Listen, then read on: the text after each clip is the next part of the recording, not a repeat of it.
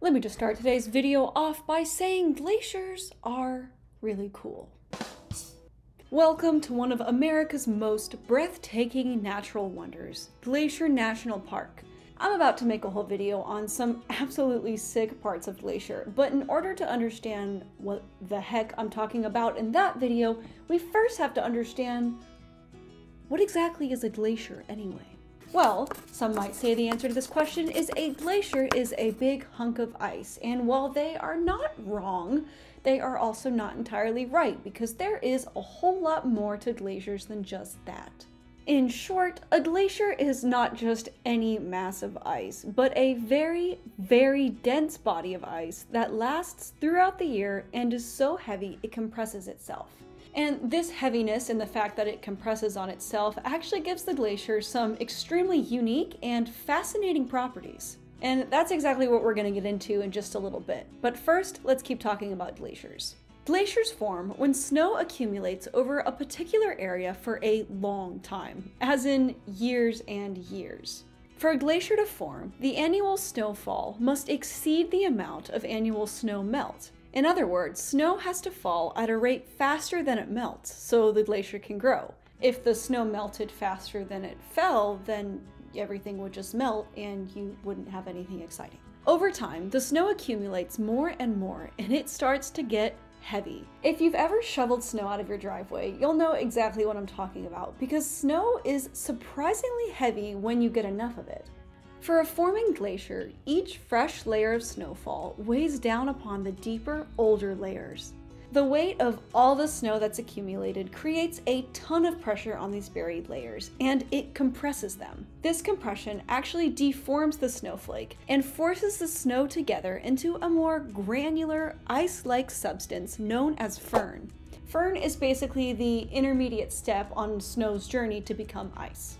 You see, ice and snow both are forms of frozen water, as I'm sure you know, but they have vastly different properties. So, why is this the case?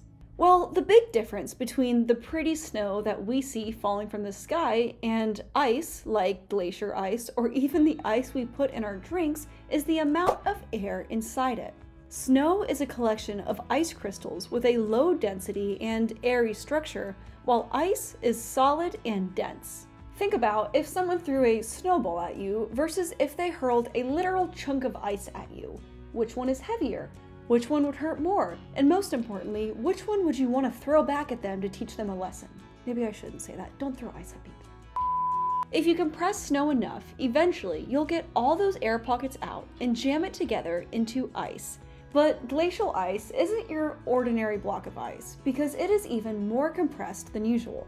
A glacier is one gigantic, solid block of ice where nearly all the air has been squeezed out, and this can only happen after years and years of being compressed under an incredible amount of weight.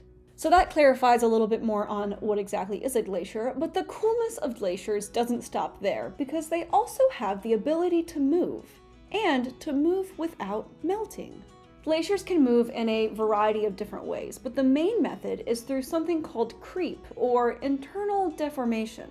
Inside a glacier, the ice deforms and flows slowly under its own weight. This movement is facilitated by the extreme pressure actually melting and refreezing the ice at various points within the glacier. In other words, if you put ice under enough pressure, it will melt a little bit, but as soon as that pressure is released, it'll refreeze. To help you understand what I'm talking about, let's look at a deck of cards. Internal deformation works similarly to if you took a deck of cards and fanned them out. If you put a lot of pressure up top here and put it on a slight downward slope, just like a glacier has, eventually things are going to start to slide. Over time, the ice crystals within the glacier melt and refreeze, and they rearrange and slip past each other, allowing the glacier to flow. It's this property that has led to glaciers being called rivers of ice, because in a way they do flow like a river while remaining solid. I mean, I guess technically you could say that they melt very small parts of them at a time, and that helps with the deformation, so they're not completely remaining solid. But you know what? Everyone loves a good metaphor, and for the most part, the glacier is remaining solid while it moves. There is also one more method of movement that we need to talk about today, and that is something called basal sliding or slipping. I've saw both words being used. We just said that extreme pressure can melt the ice for brief periods of time, right? Well, at the bottom of the glacier, right where the ice meets rock, there is an insane amount of pressure. This often creates a thin film of melted ice, aka water, that lines the bottom of the glacier. This water acts as a lubricant that allows the glacier to move more rapidly than if it were only deforming internally.